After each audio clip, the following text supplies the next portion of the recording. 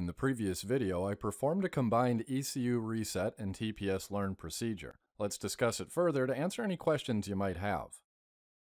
I started this procedure by running the engine until operating temperature. This is done to verify the low speed setting has stabilized. The low speed setting is then adjusted to 1500 RPM.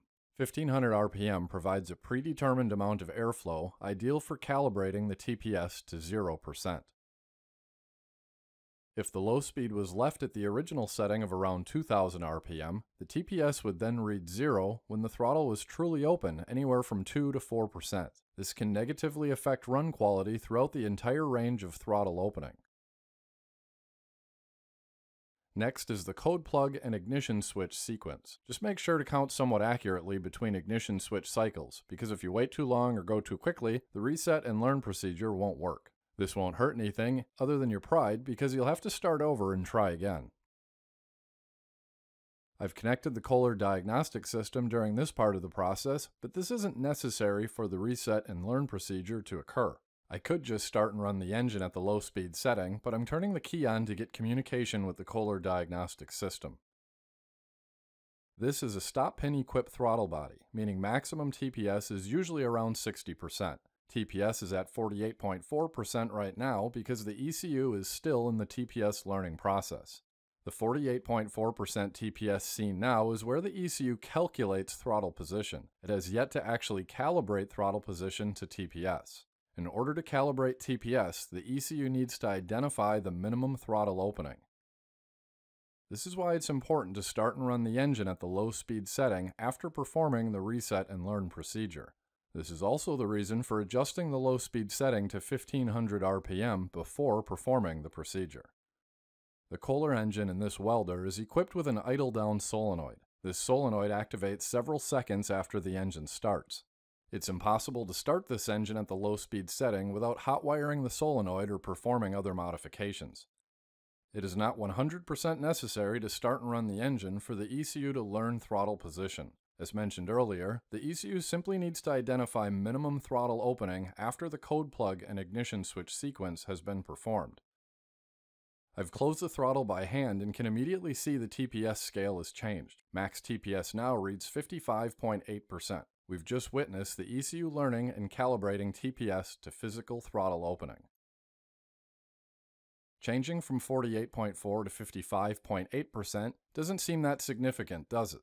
But listen to what the engine sounds like if started and ran while being off by 7.4% TPS.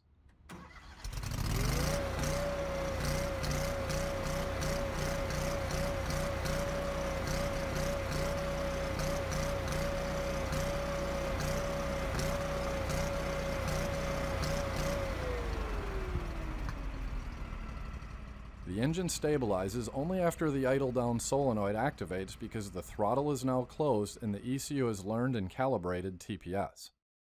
Closing the throttle by hand isn't necessary, but the engine runs better once started because the ECU has already learned and calibrated the TPS.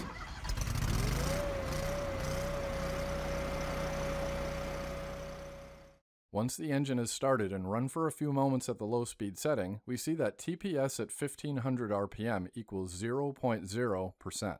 Prior to performing the reset and relearn, the TPS was 1.4% at 1500 RPM.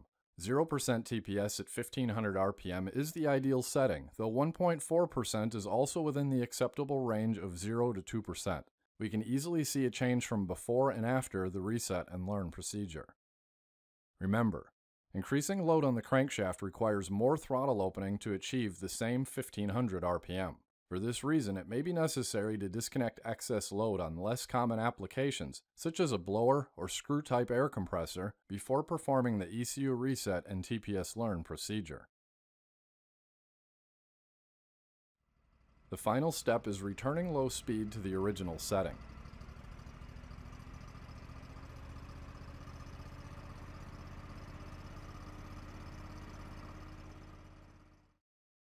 If there's any doubt whether the ECU reset and TPS learn procedure has occurred, use the Kohler diagnostic system to access historic data.